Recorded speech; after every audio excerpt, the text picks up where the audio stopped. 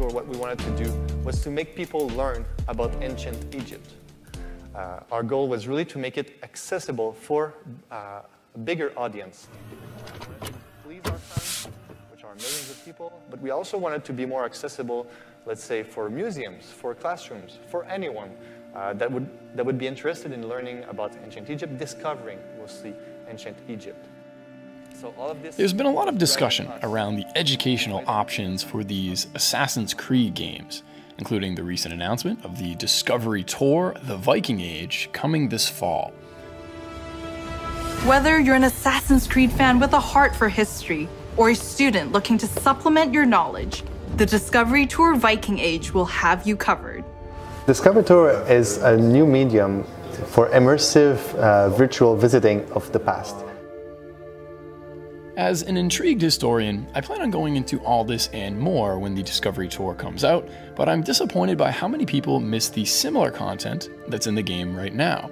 It's even one of the longest running features in the series, and some of it's pretty helpful for understanding the overall context of the story and fully appreciating the world building. So, without further ado, the unsung hero for historical information since day one, the database.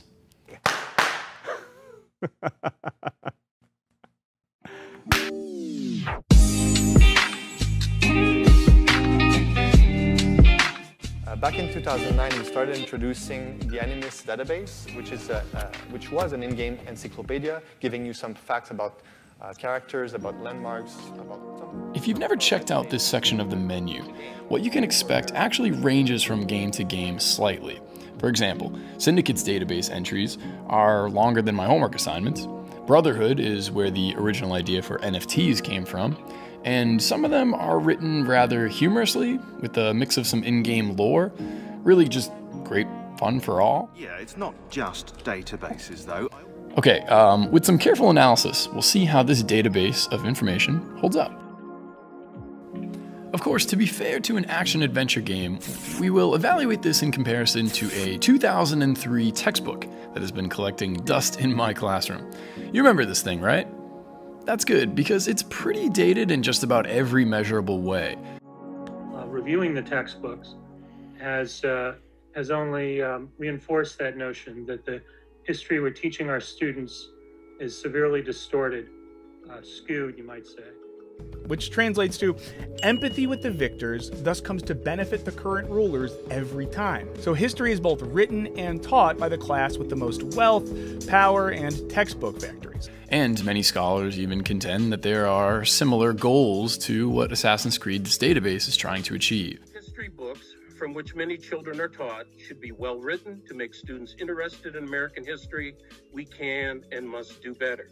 So we wanted to please our fans which are millions of people, but we also want Making this more of a matchup than you think. Whoa, whoa, whoa, what about us, eh? You might actually need a historian down there.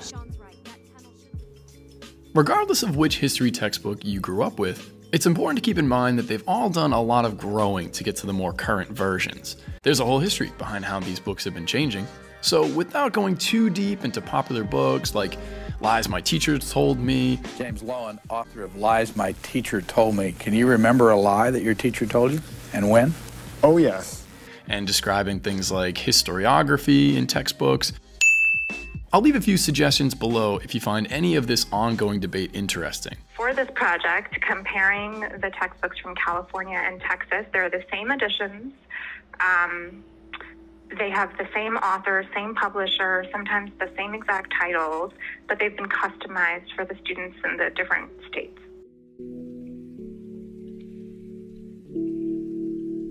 Basically, this book is loaded with bias, misinterpretations of various cultures, and some facts and statistics that are just plain wrong.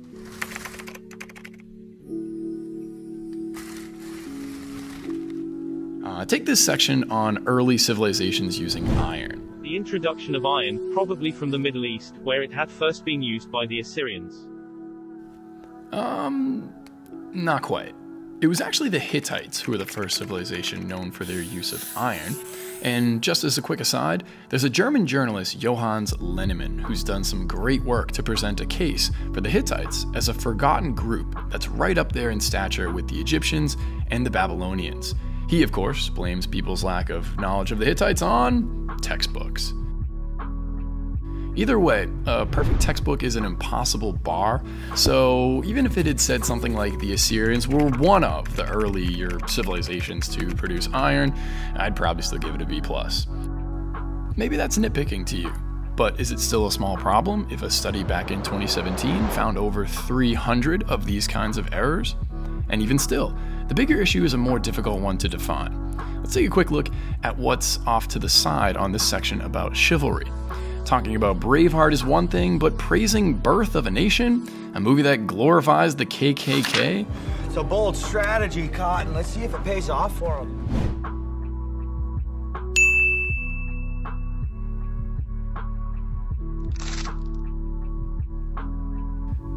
I get the point they are trying to make here. Epic poems are just like the movies and those kind of things that you kids love. But yikes, what an awful way to do it. And uh, even this part here that brings up the Song of Roland fails to mention its role in romanticizing the Crusades. In fact, it kind of reads like this particular conflict was justified, which it was not. Flipping the script for a quick minute, Valhalla's database has similar problems. Harald Fairhair is called the Great Unifier, but this conflicts with his representation in many of the sagas. Even the game's story has a better spin on this. And in Mercia, the thriving center for trade and industry, not quite. They were known for their military strength, actually, according to historian Nick Brooks. Again, nothing outrageous, but I would just change some of these summaries a little bit. Basically, if a textbook is full of issues like these, why use it? Come on, rip it out. Thank you, Mr. Dalton. Gentlemen, tell you what, not just tear out that page, tear out the entire introduction. I want it gone. You could ask a similar question for the AC databases. Are they even still necessary? Some would argue that textbooks, like the databases in Assassin's Creed, are increasingly irrelevant.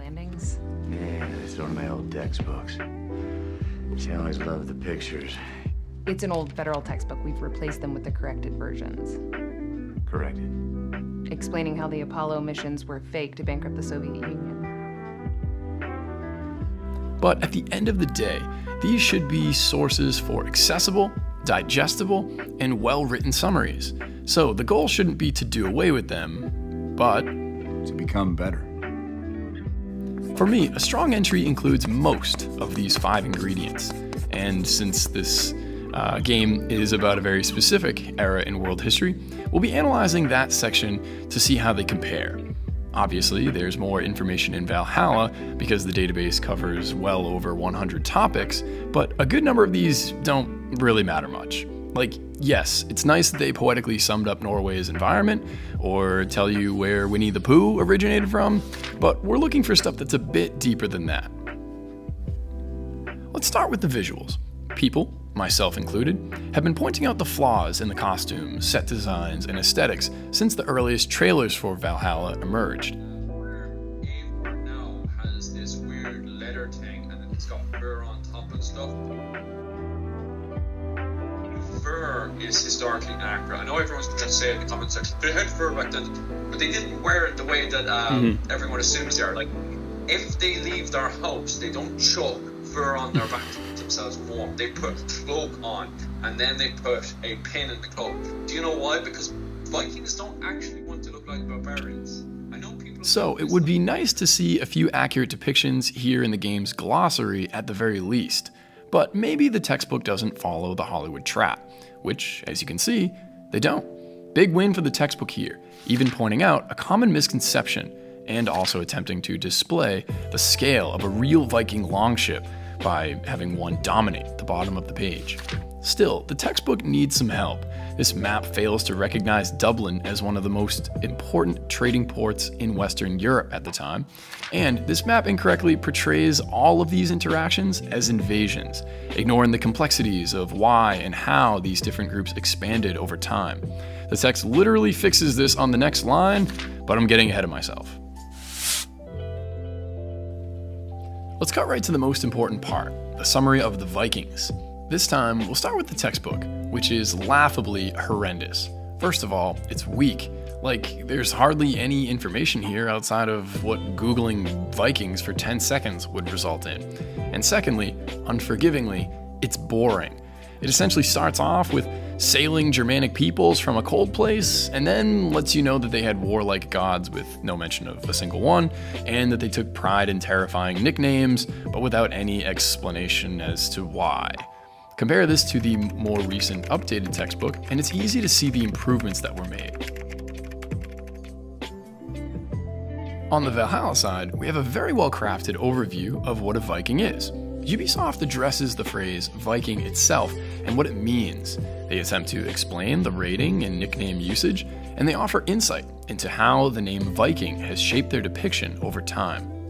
I know many historians that would love to argue the various tones and statements here, like feats of bravery and as likely to trade as they were to kill, but as they are heavily leaning into a more positive depiction, since the game is meant to be a narrative from the Viking perspective, this is understandable. They were driven by the narrative of the game, so it, it was seamless. We're going to give this one to Ubisoft, credit where credit is due. They even landed the historian's touch in the section explaining the lost Drengrs. And indeed, the connotations of this word are very similar to the connotations of the word badass in English. Flipping back to the textbook, and hey look, things are getting better. The Vikings were not only warriors, but also traders, farmers, and explorers. Not bad, although it would have been more important to mention that most Vikings were farmers. Sadly, there's no mention of social classes, thralls, complex Althing legal systems. I mean, I'd be happy if they at least brought up any one of these things, but we are still giving this one to the textbook because while Valhalla explores all of these concepts in the game, their encyclopedia isn't exactly helpful for some of the impressive key terms that they drop. I even heard the phrase coffer get used once in a particular scene, which is a wildly specific use of 18th century language. It would be nice if they included any of these definitions in their database, but hey, maybe in the future. There's a few major historical figures mentioned in the textbook. We've got Leif Erikson, and um, they compare him to Christopher Columbus, and that's it.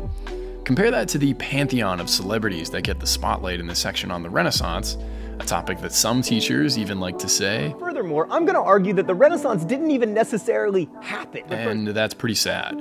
Valhalla obviously dominates this round, but even that is an understatement.